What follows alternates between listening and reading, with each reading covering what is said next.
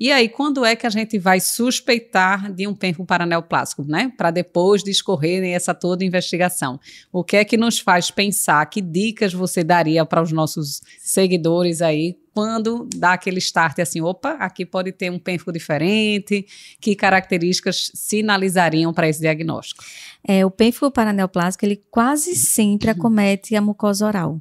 Então, é, é, um, é, uma patologia que muitas vezes até abre o quadro com acometimento de mucosa, que a gente sempre memoriza muito isso para pênfigo vulgar, não é verdade? Mas, assim, ele, ele tem e faz uma mucosite erosiva muito exuberante, Isso. que pode não só acometer a cavidade oral, ele pode, ele pode, o paciente pode ter uma extensão para orofaringe, para esôfago, então é uma coisa, é, vai acabando mais grave, mais grave. pode obviamente pegar outras mucosas, então você pode ter acometimento conjuntiva, região é, anogenital também de acometimento, mas essa mucosite erosiva de cavidade é muito característica e alguns até falam assim que gosta muito de pegar a borda da língua, pegar Sim. os lábios. É, às vezes até áreas não tão comuns de pênfigo vulgar, porque pênfigo vulgar a gente vê ulceração, vê lesão aftoide, Isso. mas ainda parece ser mais erosivo do que um pênfigo vulgar. Então, muitas vezes a gente vê um pênfigo vulgar bem exuberante, mas geralmente quando é muito exuberante oral, na maioria das vezes vai ter alguma coisinha em pele, né?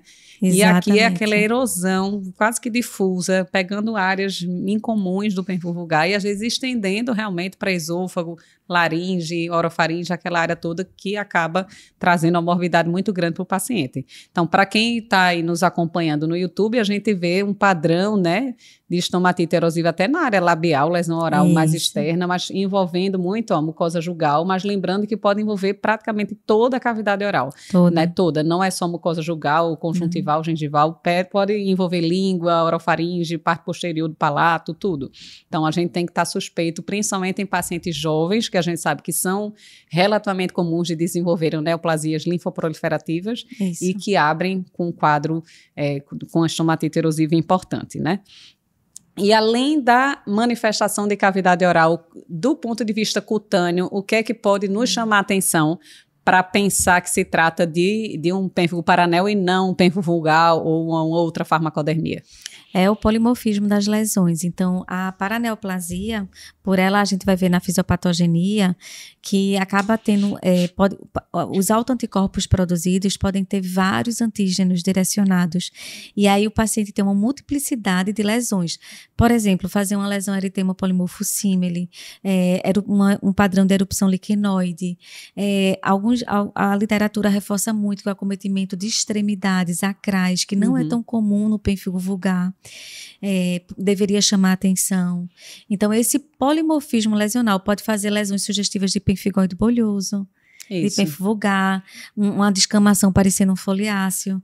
Então, é, é muito exuberante, além das, das apresentações liquenoides também. Isso. Então, de forma geral, não estranhe se não. vocês acharem que estão loucos, que não conseguem enquadrar o, o, a apresentação clínica do paciente num diagnóstico óbvio, né? Então, o que vai chamar atenção é clínica bagunçada, que parece de diversas buloses sobrepostas, Isso. ou até de uma farmacodermia, uma erupção liquenoide, Perfeito. somada a uma mucosite erosiva exuberante. Então, opa, tem alguma coisa estranha. Cara de eritema multiforme, como a gente vê aqui é, nas imagens Isso. dispostas no slide, ó, cara de eritema multiforme acral, né, ao mesmo tempo que lembra até um Steven Johnson, às vezes uma estomatite erosiva bem intensa no lábio, cavidade oral, podendo envolver até lesão genital, lesão liquenoide acral. Que bagunça é essa? Penfo vulgar não dá isso tudo, dá, justificaria uma parte, né? Farmacodermia tá muito para isso tudo. Então, você não consegue enquadrar tudo num paciente jovem e ainda mais se tiver sintomas clínicos de neoplasia, neoplasia subjacente, né? Um paciente que vem com febre, Sim. perda de peso, Sim. vem com características